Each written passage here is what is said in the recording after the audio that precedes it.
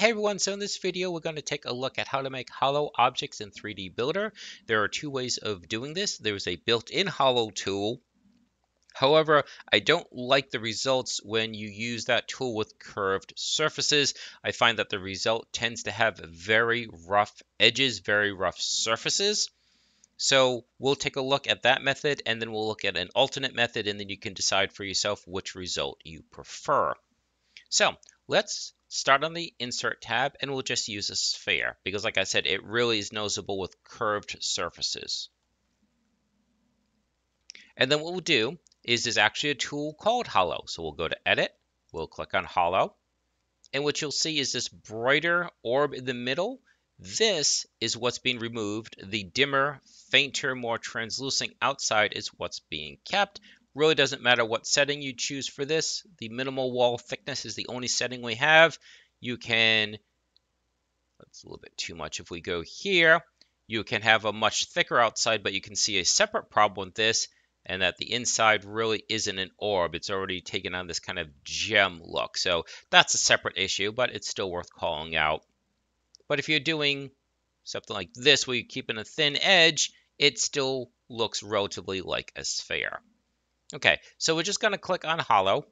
And obviously it's not going to look any different yet because it's the inside that was removed. So now we need to slice this open and take a look on the inside.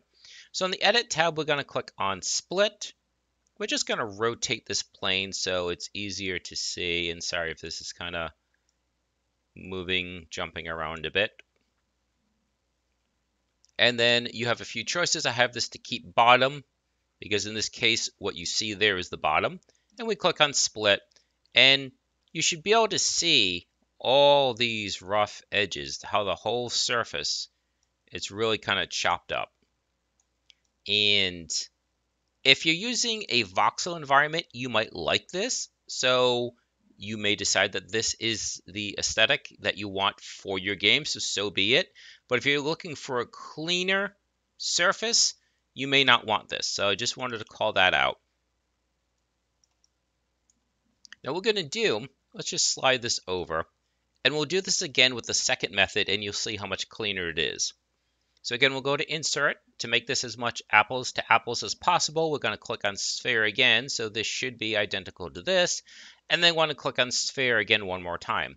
Because in this method, what we do is we use a duplicate of the object, shrink it, and then we use the subtract tool to remove that smaller object from the large object because what the subtract tool does is it deletes the object that is selected and any portion of any objects that are overlapping that object.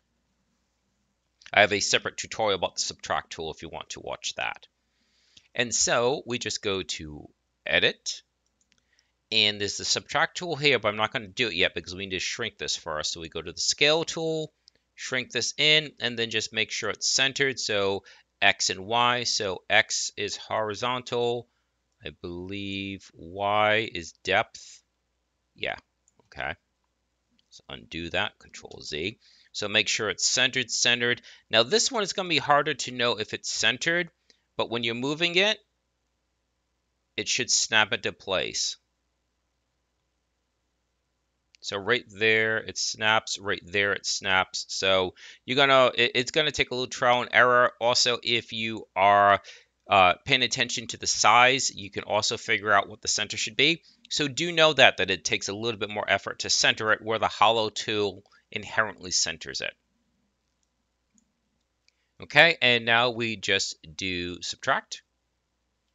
And again, it's not going to look any different because it's the inside that was altered. And then we just click on split, which is also on the edit tab. And again, we're going to rotate this just so we can get a clearer look at the center. And then you have several choices. In this case, we're keeping bottom. You click on split, and you can see, even before I zoomed in, let's do that. Much, much cleaner. I mean, there's no comparison. You can see rough edges here, smoother here. Now, I don't know for certain, but I suspect that possibly this smoother surface may be more system intensive because it probably has more facings. So these abrupt edges probably take up less processing power. Depends on how big of a game you're using, so that might not make a difference. But if you multiply this by thousands and thousands of objects on the screen, you may indeed have a, a, a serious issue with resources. And again, that's if you're using this for gaming. This is actually, this application is really designed for 3D modeling, so that might not be a consideration. It all depends what you're using this for. But you can see the hollow method is really rough and the, um, the subtraction method is much, much cleaner. So I just wanted to mention that, and, and so you could see the two different ways of doing this. Now, if you take something, let's delete both of these. If you were to do, say, a cube, and then edit, and then hollow, and then hollow, and then split, and let's rotate that, and split, you can see in this case, it's fine. It's nice and clean. Everything looks good. So again, the issue is with curved surfaces. So we'll do one more. We'll do insert. We'll do cylinder. We'll do edit. We'll do hollow. We'll click on hollow. We'll click on split. Again, we rotate this. You can already see the noise, the messiness. So again, it all depends what you're looking for. Uh, if you're making models, if you're actually using this for 3D printing, I suspect you wouldn't want this, that this would make the model really, really hideous. I've never actually used this for 3D printing, so I don't know what the end result is for certain. But if this is representative of the end product, then I think you would have an issue with all these rough edges on whatever model it is that you're making. So that's about all I wanted to say is uh, I wanted to give you guys this alternative that rather than using the hollow tool, that if you're using a uh, uh, if you're using curved surfaces, you probably should just use subtract as well. So again, we'll just move this over, insert, cylinder, cylinder again, shrink it down, center it. Like I said, it kind of pops into place.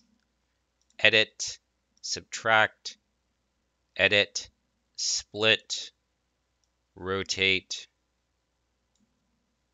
split, much, much cleaner.